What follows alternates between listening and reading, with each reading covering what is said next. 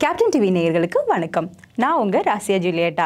இன்றைக்கி நான் உங்ககிட்ட ஒரு சில தகவல் ஷேர் பண்ண போகிறேன் அது எதை பற்றினா மாம்பழம் சாப்பிட்டா டயபெட்டிஸ் வரும் சுகர் வரும் இல்லை வந்து உடம்பு போட்டுரும் ஃபேட் ஆகிடுவாங்க அப்படின்லாம் சில வதந்திகள் இருக்குது அது உண்மையா இல்லையா அப்படிங்கிறத பற்றி தான் நம்ம பார்க்க போகிறோம் மாம்பழம்னு சொன்னால் நிறைய பேருக்கு அது ஒரு ஃபேவரட்டான பழமாக கூட இருக்கும். ஸோ இப்போ மாம்பழங்கிறது வந்துட்டு நம்ம இந்திய நாடு தான் வந்துட்டு உலக லெவலில் வந்துட்டு டாப்பாக வந்து ப்ரொடியூஸ் பண்ணுற ஒரு கண்ட்ரியாக இருக்கிறது. ஸோ இப்படிப்பட்ட கண்ட்ரியில் வளர்கிற மாம்பழத்தை வந்து நம்மளே சாப்பிடக்கூடாதுன்னு சொல்கிறோமே இது அநியாயமாக இருக்கே அப்படிங்கிற மாதிரி இருக்குது. சரிங்களா? ஸோ மாம்பழம் அப்படிங்கும்போது மாம்பழத்தில் வந்துட்டு ஒரு மாம்பழம் எடுத்துட்டிங்கன்னா அதாவது நூறு கிராம் மாம்பழம் எடுத்துக்கிட்டிங்கன்னா அதில் அறுபது கேலோரிஸ் இருக்கும்.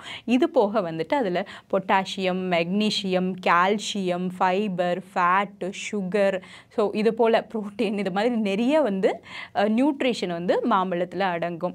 ஸோ இப்படிப்பட்ட மாம்பழத்தை மட்டும் இல்லாமல் மாங்காயிலவையும் வந்துட்டு இந்த சத்துக்கள்லாம் இருக்கும். அது மாம்பழத்தை கம்பேர் பண்ணும்போது மாங்காயில் வந்து விட்டமின் ஏ அண்ட் சி அப்படிங்கிறது வந்துட்டு ரொம்ப அதிகமாகவே இருக்கும்னு சொல்கிறோம் ஸோ இந்த மாம்பழத்தை வந்து ஏன் சாப்பிடக்கூடாதுன்னு சொல்கிறாங்க அது இனிப்பாக இருக்குது. அதனால் சாப்பிடக்கூடாது. இனிப்பாக இருக்கிறத சாப்பிட்டா சுகர் வந்துடும் அப்படின்றாங்க. ஸோ அது உண்மை இல்லை. நம்ம எல்லாருக்கும் முக்கணிங்கிறது மா பலா வாழை அப்படிங்கிறது தெரியும். ஆனால் இதுக்கு பேர் எப்படி வந்துச்சு அப்படிங்கிறது யாருக்காவது தெரியுமா? சரி நான் உங்களுக்கு சொல்கிறேன் இப்போ சரிங்களா? முக்கணின்னு சொல்லப்படுற மா பலா வாழை சரி ஃபஸ்ட்டு மாம்பழம். மாம்பழம் வந்துட்டு அதோட சீசன் எப்போவுமே வந்து ஏப்ரல்லேருந்து ஜூன் வரை இருக்கும். பலா பழத்துக்கு சீசன் வந்து ஜூலைலேருந்து ஆகஸ்ட் வரை இருக்கும்.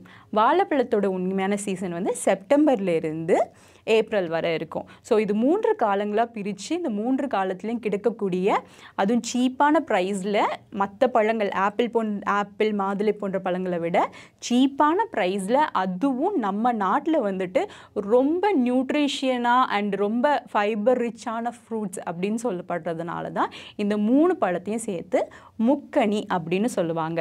எப்போ எப்போவுமே நீங்கள் சொல்லி கேள்விப்பட்டிருப்பீங்க மாம்பழம் சாப்பிட்டாலும் சரி இல்லை பலாப்பழத்தை பார்த்தாலும் சரி இல்லை வாழைப்பழத்தை பார்த்தாலும் சரி ஏ அதெல்லாம் அதிகமாக சாப்பிடாதப்பா அது சாப்பிட்டா வந்துட்டு உடம்பு போட்டிருப்பா சுகர் வந்துருப்பா அப்படின்னு சொல்கிறாங்க சரி நான் உங்களுக்கு ஒன்றே ஒன்று கேட்குறேன் அரிசி சாப்பிட்றோம் சாதம் சாப்பிட்றோம். சாதம் இனிக்குதா?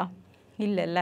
ஸோ சாதம் இனிக்காது. அதில் வந்து கார்போஹைட்ரேட் வந்து அதிகமாக இருக்கும். ஸோ இந்த கார்போஹைட்ரேட் தான் வந்துட்டு நம்மளுக்கு வந்து இந்த டயபெட்டிஸ் ப்ராப்ளம் கொடுக்கும். சரிங்களா? ஸோ இப்போ கா கார்போஹைட்ரேட்னு சொல்லும்போது வந்துட்டு உங்களுக்கு மாம்பழத்தில் வந்துட்டு ஓரளவு ரைஸை கம்பேர் பண்ணும்போது ஓரளவு கம்மியாக தான் இருக்கும். சரி இப்போ இந்த மாம்பழத்தில் வந்துட்டு சுக்ரோஸ் ஃப்ரக்டோஸ் அண்ட் குளுக்கோஸ் இந்த மூணு காம்பனன்ட்ஸ் இருக்குது இதே இது மாங்காவை எடுத்துக்கிட்டிங்கன்னா அதில் வெறும் அது ஸ்டார்ச்சாக மட்டும்தான் இருக்கும். ஸோ ஒரு மாங்காய் வந்து இருக்கக்கூடிய அந்த ஸ்டார்ச் தான் வந்துட்டு அது பழுத்ததுக்கப்புறம் சுக்ரோஸ் ஃப்ரக்டோஸ் அண்ட் குளுக்கோஸ் இந்த மாதிரி மாறுது.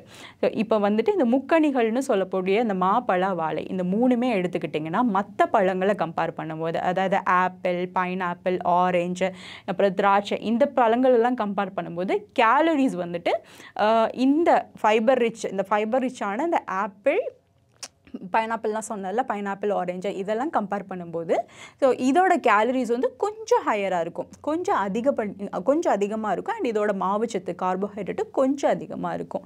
ஸோ இப்போ வந்துட்டு பழ அந்த இந்த முக்கணியிலே வந்துட்டு கம்மியான வந்து கேலரிஸும் அண்ட் கம்மியான கார்போஹைட்ரேட் கண்டென்ட்டும் இருக்கிறது வந்து மாம்பழம் தான் பலாப்பழத்துக்கும் வாழைப்பழத்துக்கும் கூட கொஞ்சம் அதிகமாக இருக்கும். ஆனால் நம்ம வாழைப்பழத்தை ரெகுலராக டெய்லி ஒரு வாழைப்பழம்னு கூட எடுக்கிறோம்.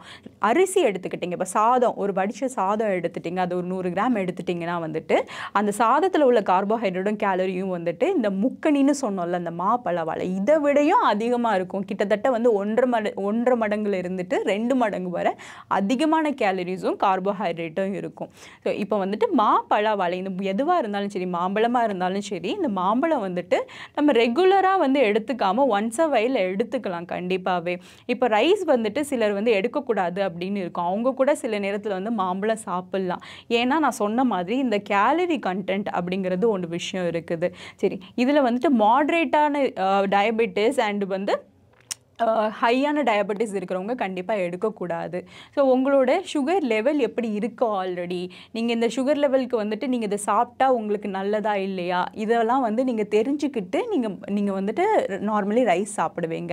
ஸோ அப்படி ரைஸ் சாப்பிட்றவங்க கூட மாம்பழம் சாப்பிட்லாம். ஸோ மாம்பழம் சாப்பிட்றதுனால டயபெட்டிஸ் வரும் அப்படிங்கிறது வந்துட்டு ஒரு பியூர்லியாக வந்து ஒரு ரூமர் தான். ஸோ வந்து மாம்பழம் எப்போவாவது சாப்பிடுங்க.